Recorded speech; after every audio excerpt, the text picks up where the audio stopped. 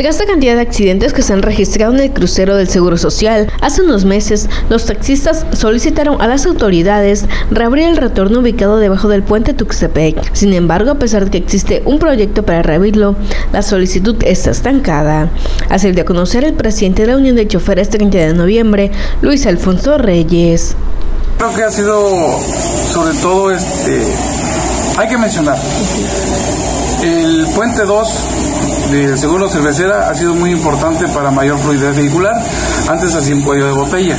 Pero recordemos que en la parte de abajo existía un retorno, dentro del cual pues eh, nos favorecía tanto al transporte público como al privado. Eh, a raíz de la ampliación del puente, pues obviamente quedó cancelado en la parte de abajo por la por lo amplio de la segunda parte. Han transcurrido algunos años y hemos tocado puertas, inclusive al ayuntamiento, porque forma parte de, de que se reabra el retorno. Ya por ahí hay un proyecto integral grande que no solo sea el retorno, sino también cerrar la parte de arriba para evitar accidentes, porque han ocurrido muchos accidentes. Eh, también tiene planteado el ayuntamiento el paso de nivel del Seguro Social atravesando el bulevar hacia la otra acera, en el sentido de que hay personas de la tercera edad. Entonces, ese es el llamado a las autoridades de que pongan fecha de que se haga ese retorno.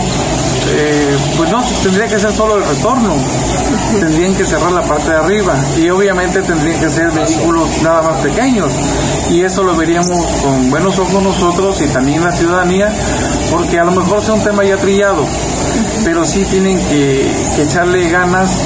Eh, bendito Dios no ha habido algún accidente donde alguna persona haya fallecido, pero sí ha habido el, accidente del golpe material que no pasa de ahí.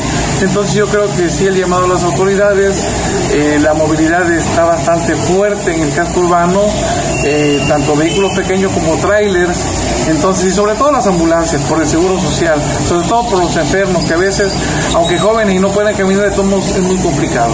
Entonces, el llamado para que reactiven el retorno vehicular. Reitero que ellos insisten en que se reabra el retorno por la cantidad de accidentes que hay en la zona, en donde es difícil cruzar por el lugar y más en el periodo de clases cuando más personas circulan por este lugar. Y es que hace unos años los automovilistas utilizaban el retorno que está debajo del puente Tuxtepec. Sin embargo, con la construcción de este puente y lo que ha provocado que los automovilistas al querer cruzar realicen maniobras, lo que en ocasiones termina en accidentes.